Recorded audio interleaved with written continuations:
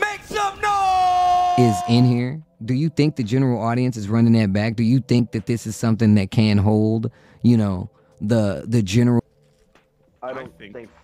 fall flat's an option, but I don't think it's gonna captivate everybody yet.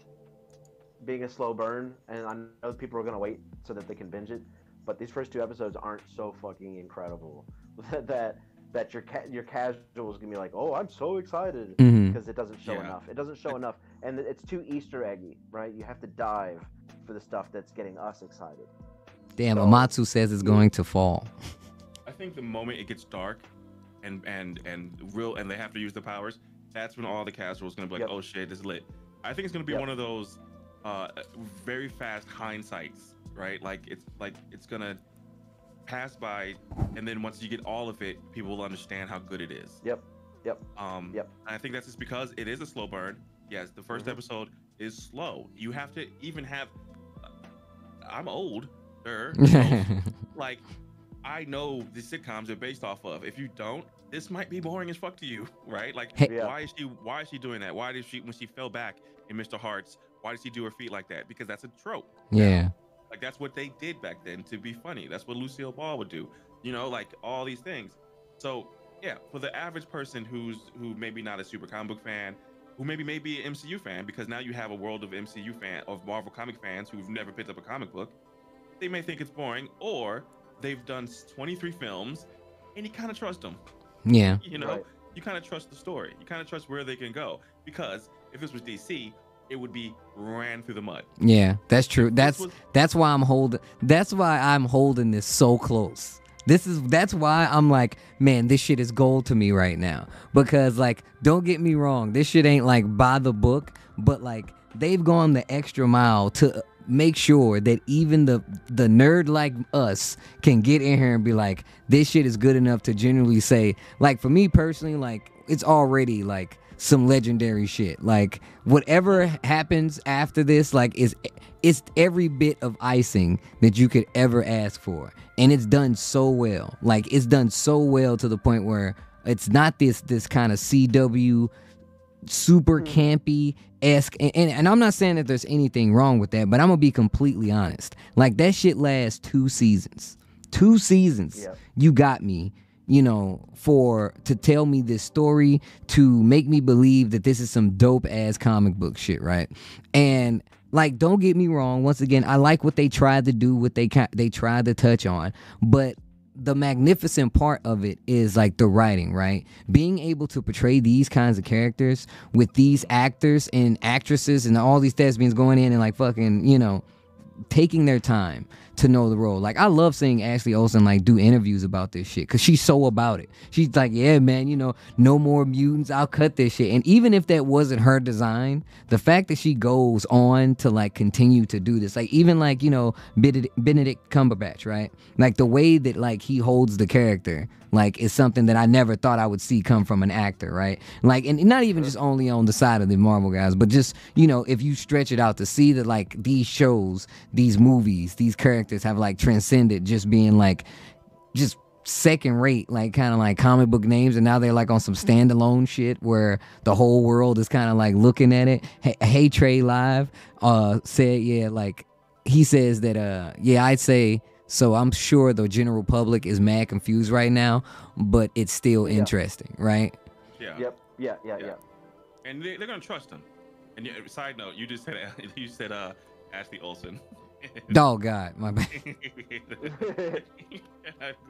I'm sorry. Like so many memes pop in my head when I hear about when I hear Mary Kate and, and Ashley Olsen's name.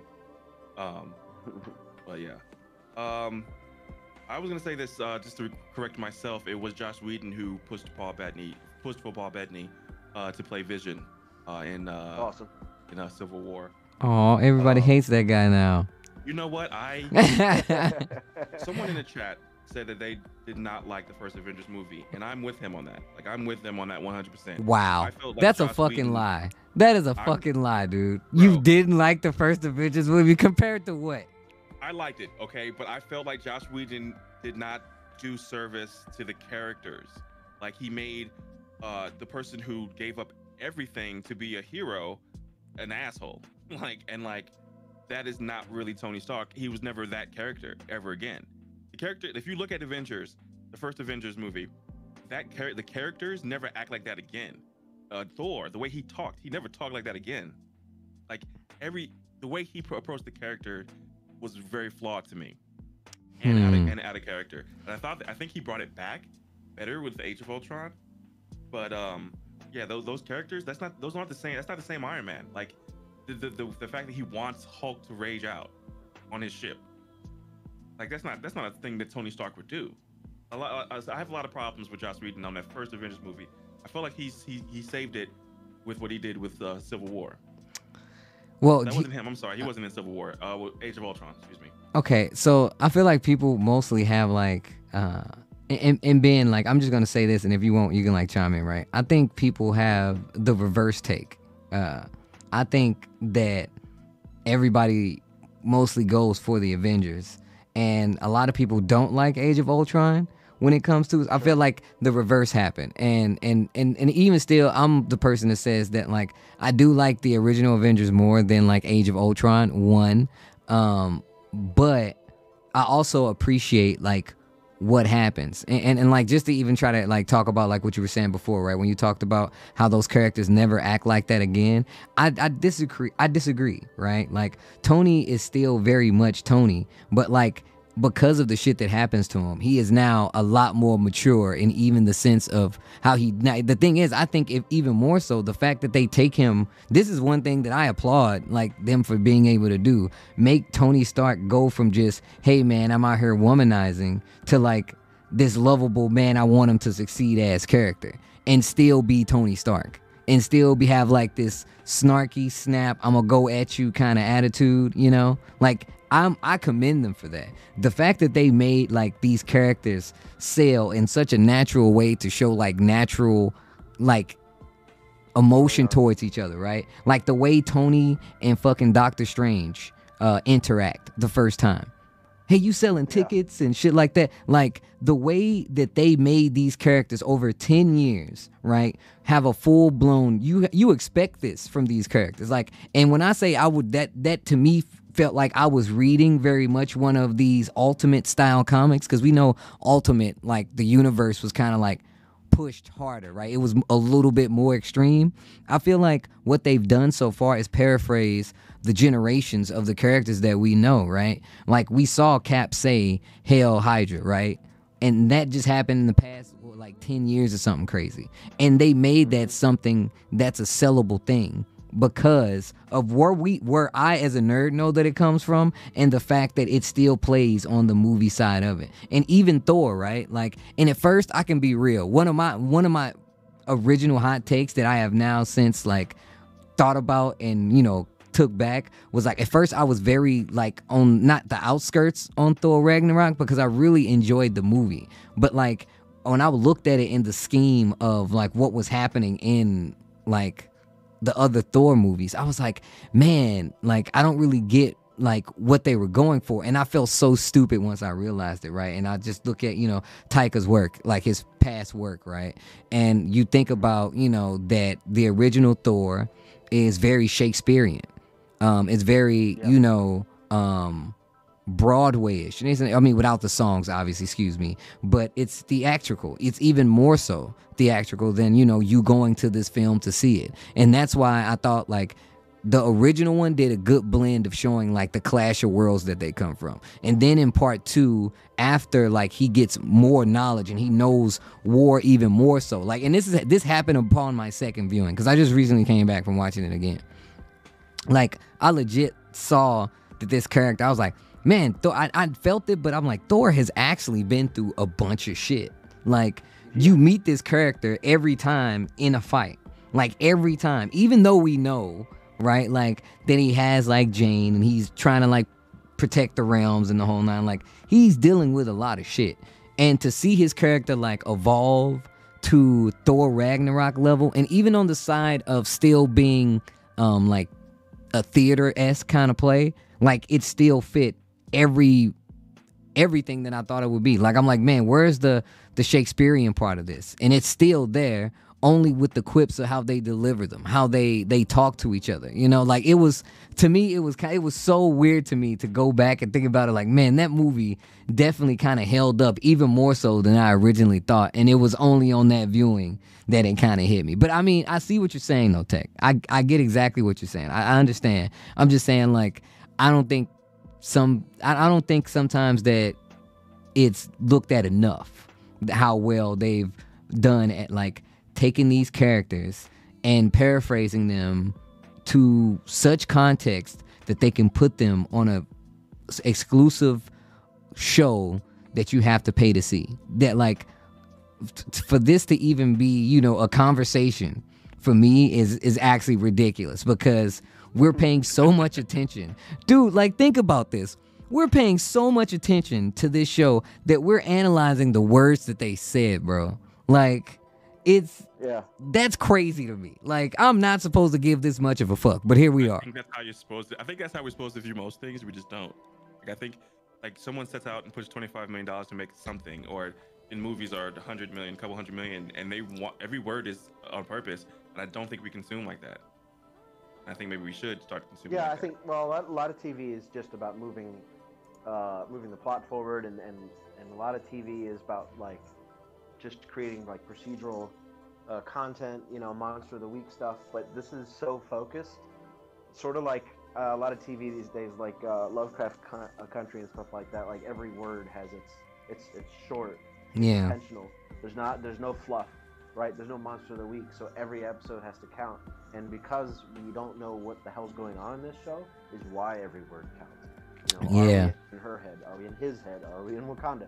So here's like the thing, the though. way they, yeah, even when I go back to older movies, I'm I'm picking up things now because I'm Yep. now looking with Yep. that analytical. That's eye. true. That's hundred percent true. That's why I said that earlier. That's why I was like, even now, going back and looking at some of these things, I'm like, I even though like it gave knowing that where they went when I originally didn't know where they were going, going back and looking at it again has revealed more to me. I'm like, oh shit, it wasn't there. They were trying to sell. They were trying to say it or like slide it under the rug right here, right? Yeah. So so answer me this, guys. Answer me this. Uh, unless Ben, you did you have anything else to add to that? I'm not like moving on or anything, but I, I just wanted to ask a question. Okay, go for it. So we've seen right. We've both oh, we've all seen The Watchmen, right? We've all seen The Watchmen on uh, HBO, which was done. You didn't? No. Are you serious, I fumbled so hard. I gotta go, guys. bro? Oh, it's been good, Tech. Get the hell out of here. No, just no. Okay, so all right. Well, Ben, I, I guess we should make this shorter. Then I, I'll do this then.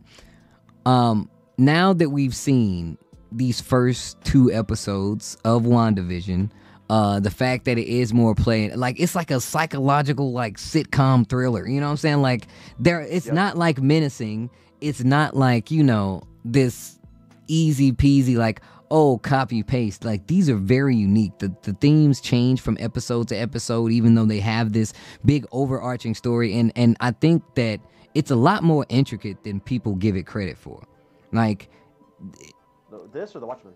Oh no, uh, just these shows in general, right? Um, I, and, and I was talking about like, and to add the Watchmen to that is the fact that they were able to carry on not from you know the movie media, but from the you know the comic book source and make another part to the story, and then sell it to such a base that they can make make an award-winning HBO TV show Yeah.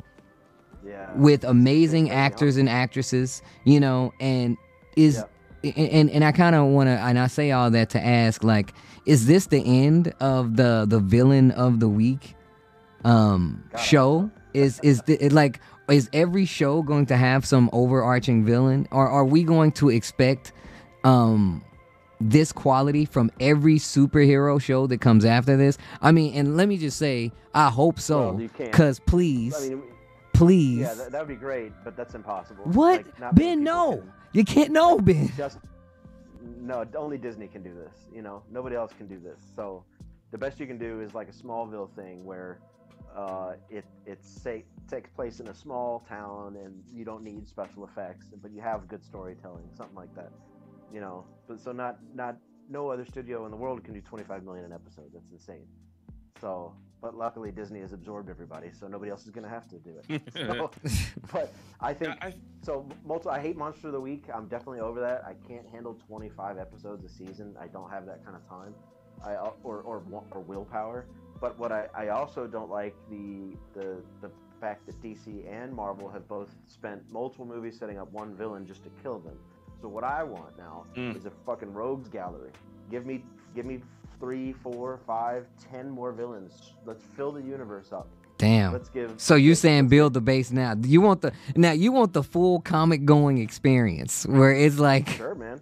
no, I mean Yeah, look, but how many I I want that we- We're dealing with we're dealing with Doom. We're dealing with Magneto. We know Galactus is on the way. Like, let's set this shit up. I think they're already doing that, I, and I think Yeah, they're doing it right in front of us too. Cause like if you think about the fact that Baron Zemo is the guy, the bad guy in Falcon and the Winter Soldier, they already have history, you know, Yep. and we know Baron Zemo can this can very much lead to the Thunderbolts, right? And then you have you know Georges St-Pierre returning to said show, the same show in his returning role. So they definitely have a rogues gallery already building, like it's already a thing. And then like if you look at what they've done in Spider-Man, like the the Spider-Man movies, they've done even a better job of compacting those villains and building True. the backstory, That's right? true. It is That's true. fucking ridiculous how good they build those backstories, right?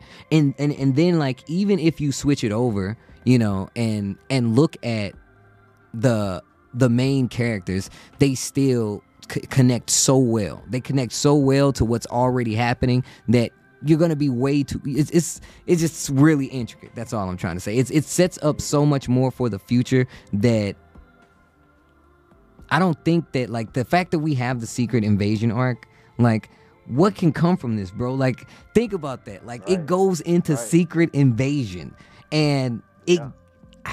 I don't know. I, I'm just saying. I, I was definitely on a rant there. Like we definitely have a, a rogues. We we definitely have a rogues gallery kind of like building, and I'm happy. Like you're right. I actually didn't agree with them killing any of the villains. Right. Like I don't They had to. right they had to like, right because that's the, i feel like that's to. the only way that people understand that kind of like these I, I felt like that's what they perceived right like because they're i think that's one of the sales i think one of the sales of these kind of the shows and movies is the fact that you resolve the conflict on the first go. I think that that's been and i think that's been a large problem in just consuming these kind of things. Because i'm here to argue that you know these shows and like the way that they're putting these shows out on single season kind of feel where it's it's very anime-esque right? Where you get the cowboy bebop feel of it where it's like this is a very unique thing that is going to exist right now right? Like it's going to compare to like right now and then it you know trickles from there so i think that like it's a very cool thing the fact that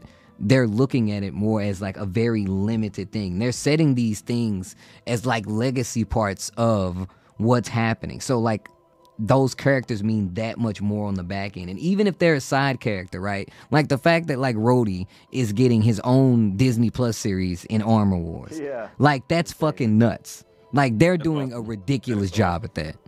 And and Ben to, to talk about just to, to briefly talk about your villain uh, getting killed off. We got Loki in 2011, and yeah, we they still got killed Loki. Loki. Oh, well, I mean, they killed him multiple times, but yeah. But we still got Loki. You know what I'm saying? Like you had Yep. to kill Thanos. That was that wasn't even a question, and it was a tr- it was a trade, right? We lost Yep. Iron Man. Um, who else? Uh, Bar- the Baron. And you know, I didn't even really appreciate his his character as a villain until I watched it again this week. His, Yeah, his, his, we got Red. his we got Red Skull. Red you Skull. got the guy from. You got the guy. Uh, well, every villain from Iron Man. Also, also, also two things about like and Re- Abomination's coming back. like one two things about Red Skull, right? Like they say like they said that Red Skull has no memory of who he was, right? Do y'all remember this? Did y'all see this? No. So they Yeah. they said that like Red Skull as a character has no memory of who he was. I call bullshit. Wow. I call Yeah. bullshit. I think that's bullshit. Because he says a line, he says, I too held the Infinity Stone. I'm like, how the fuck Yeah. do you know that if he has no memory of where he came Yeah. from? Like how, how the fuck is that true? Like he's literally he has to be lying. Real Um talk though, I need to figure out. I need to see how Chris, how Captain America brought that goddamn stone back to him. I need to see that. right? They said that and they said like they I don't I can't remember exactly what they said, but they definitely referenced that shit.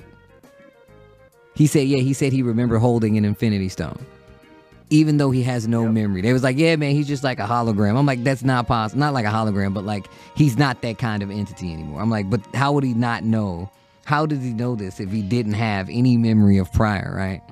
Uh, well, what we do know is that the, the Marvel rarely says things in these movies without a purpose. mm-hmm. So you get ready for that to come back and bite us in the ass. and I think, I think too, it, it may set us up for the, the the the thought process at least that the stone can preserve you, it can save you, it can put you Mhm. somewhere else. yeah. which is the possibility for this show, WandaVision, just to bring it all back. They they could, you know, it could, it could have some type of correlation because they, you know, uh, that would make Red Skull as old as Captain America, and he was frozen for seventy years. I got a So- new theory. Oh, So somebody in the chat like an hour ago said in the comics when the stones were destroyed, they would just a new set of stones would show up somewhere else. Okay. I believe that would So happen. what if a, what if a new what's the one in his envisioned as a soul stone? Mind. Mind Stone. So what if the Mind Stone took Jarvis with it, and when it showed up somewhere else, so this new Mind Stone is Jarvis, and she's out to find it Hmm. Yeah. Damn. or whatever. Is is Vision. The new, so the new the new Mind Stone is Vision, and it's out there on its own somewhere, trying to find its way home. Oh, damn. Damn, that's pretty buff, actually. Yeah. Or or all this is actually, or they found it. Sword found it, and they've got it in a machine, and this is happening inside the Mind Stone, and they're trying to, and Vision's trying to find his way out. I just had a really dumb So what if this is head. all? What if this is all inside the Vision, the the Mind Stone, instead of inside Wanda's head? Possibly. That doesn't I make think I think that's a 'cause- possibility. I I definitely really think that's a Radio said Wanda possibility. who's doing this to you? But still. Yeah. What if Tony Stark, when he snapped Thanos out of existence, also said, "I need more people to protect our world"? Damn, that'd be crazy. that creates mutants. right.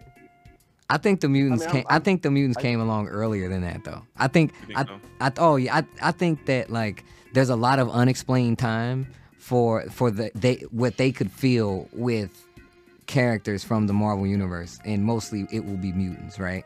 And the only reason I say this is because we have the five year gap.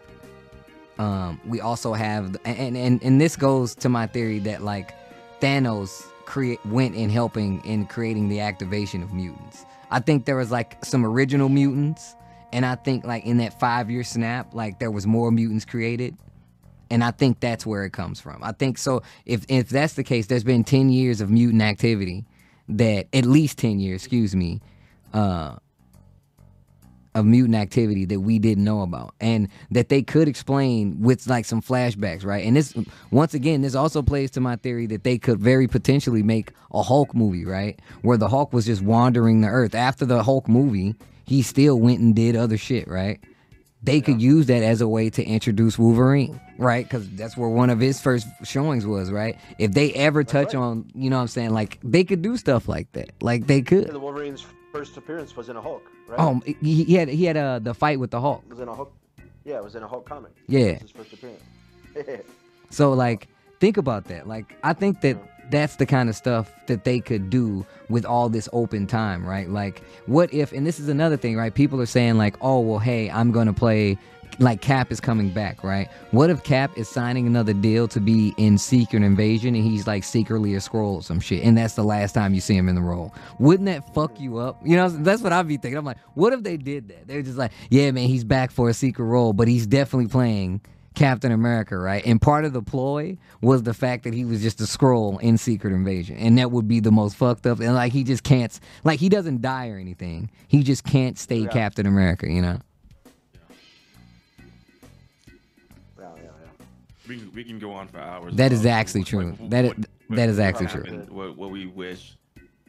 But uh, So we, th- we, we need to get this all out of the way now so that when we talk next time, we can just talk about episode three. That's Uh, true. That's true. That's why I said let's just go full blown in on episodes one and two. You know, because I knew what was gonna happen. I knew we we have to come in and pour out the theories. You know, we have to bring all our proper servings to the table, and then you know, then we can now officially open it. Because now I'm gonna watch the two episodes again. Oh my, my eyes will be done with this, right? Like I'll do my my actual analysis, right? And I'll be all ready for episode three. And then episode three is just episode three. We don't need to, you know, go any further than that. We can just stay within those confines. I love it. Yep. Well, well, either way, let, let me just say this: do do either one of you gentlemen have anything else to add to the table bef- before we conclude these talks? I just want to say, WandaVision, um, the sh- the show is very well written, and people need to pay attention to that. Yes. Yes. Yeah, yeah, for sure. Yep. Hold on, wait a minute. try to work Wait, past the boring. wait, Otori says, wait, Otori says, here's a bet. They're definitely going to go all out again next week when you watch episode three. Probably Oh, right. right? And it doesn't Don't matter because. I'm a completely okay with that. What about you, Ben? You you got you got anything for the people out there? No, man. Like I said, I, I came into this pretty empty-headed. You know, Mhm. we watched the whole MCU again last year, back to back, almost like two or three times a week. We watch a movie. So we we shotgunned the whole thing in like three weeks. So I'm pretty Mm. fresh on it. Of course, been reading for the chat. Been reading comics my whole life, making comics right now. So Mm-hmm. I'm no dummy, but I'm also not as researched as everybody else. Yeah. So uh, I, I, I'm kind of just on the outside here, watching the chat, watching you all dig up these deep Easter eggs and stuff. No, like I, um, I think that's cool. That's part of it, dude. That's part of the dynamic that we my- have going here. This is why all my theories were MCU theories, not deep comic book theories. You know. So, See, see, I like the Yeah. transparency, man. This this is why you're here. I just want you to know Right. that's why you're fucking here, right there. The transparency, just Right instantaneous. I mean, look, Right. I, tr- I like I know where you come from. You know what I'm saying when it comes to you know your world and comics. So I wasn't too surprised, but just the fact that you know you share those kind of things. But before we we go on and I start playing Uncharted 4 because I never beat it and I'm just gonna kill this bad boy. I just finished. Uh, uh, I beat God of War, so now I'm gonna start Uncharted 4. Um, can you tell the people out there, both of you guys, can you tell the people where to follow Twitches, Twitters, phone numbers if you want that kind of company? Can you talk to the people real quick, both of you guys? Go ahead, Ben. Well, you can't have my phone number, but uh, I am everywhere at Sketch Sawyer, including sketchsawyer.com. Uh, and before I say goodbye, Steve, did you go back after you beat God of War? Did you go back home? yes. Yes, I Okay. did. I did go Okay. back home because Okay. the chat was like, "Yo, Good. Steve, go back home." Oh, And, uh, had your back. Okay. Yeah, the good, chat no. Like I told them no spoilers, but they were just like, "All right, you beat it now. Go do this thing." That which was sick. But once you start the new Yep. game plus, they tell you it was just a dream. But we already know that his dreams are like visions. So Right. he And said he had a dream about it, So, right? Yeah. Right. That game was fucking phenomenal, by the way. Yes, it was. Yeah, I can't like we were talking about it and like people was like, nah man, it's the same year Red Dead Redemption 2 came out.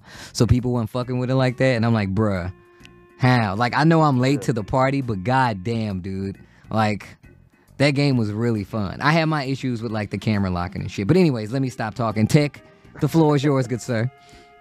All right, I go by the name of. Oh I am. I'm a producer and recording engineer and graphic designer. I stream on Twitch Monday, Wednesdays, and Fridays from noon until about four or five. Uh, check me out on YouTube as well. Tech Supreme on everything. Tech Supreme. I'm everywhere. Spotify, Apple, all everything. Just Tech Supreme. everything supreme. Do it again. Everything. Do do it again, please. Tech Supreme. that was so godlike. God damn it. Either way, gentlemen, it's always a pleasure. Um, I'm gonna get these guys all set up so we can play Uncharted 4. I'm gonna take a quick break too. Um, we'll be back to close out and then Uncharted 4. Just stay tuned, guys.